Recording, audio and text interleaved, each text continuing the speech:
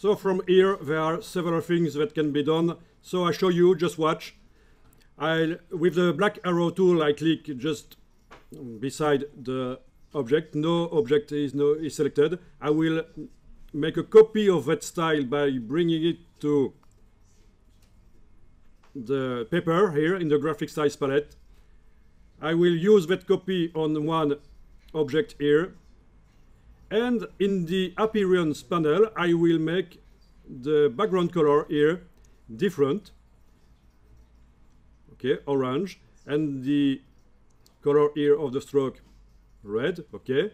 So I could change also the patterns in, on both fill, but I will not do it here. And you may create another style here. So you have, okay, so sorry, but the, the, the copy is not really necessary. So I have two styles identical here. And I have a third one. Okay, we'll try to use it on the text. You grab the text tool and then you click don't click and drag like that it's not good you're making a text box for paragraphs. I don't want it. I control Z. I just click with the text tool because I want to make a, just a little uh, word uh, a title.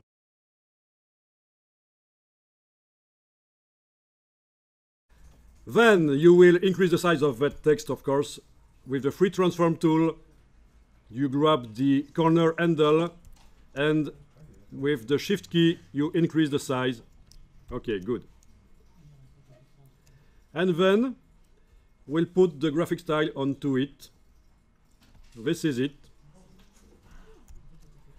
the first graphic style not very good the letters are too small that first graphic style that was good for large shapes is not good for small shapes like the, those letters. So maybe the second one is nice. Third one, third one is the same as the second one. So I put it in the trash. Okay.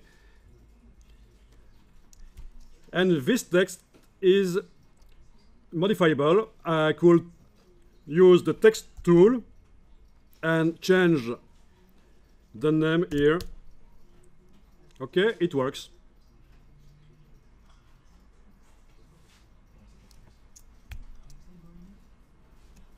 Okay, save the document.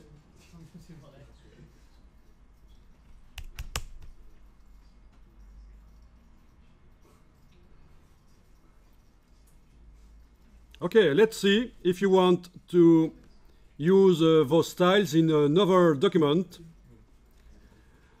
Okay, I'll show you. You make another document. Don't close the first one. Just make another document. Now you have the tabs here to go from one to the other. Okay, it's a CMYK document. I'll try to go in File, Document Color Mode, RGB. Okay, it's an RGB. Okay, so in that second docu document, the styles you just made are not there.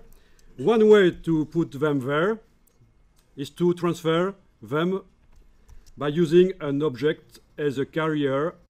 So I select one object here, I copy Control C.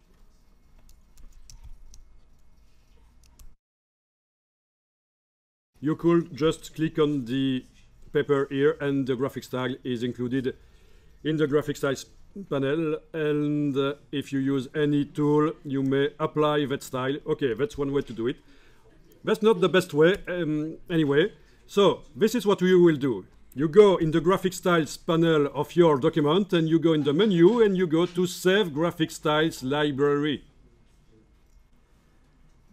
Save graphic style library to the desktop.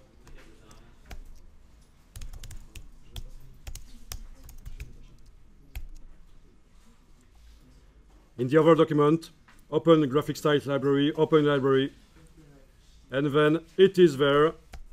And then I open it and I have a panel with my styles.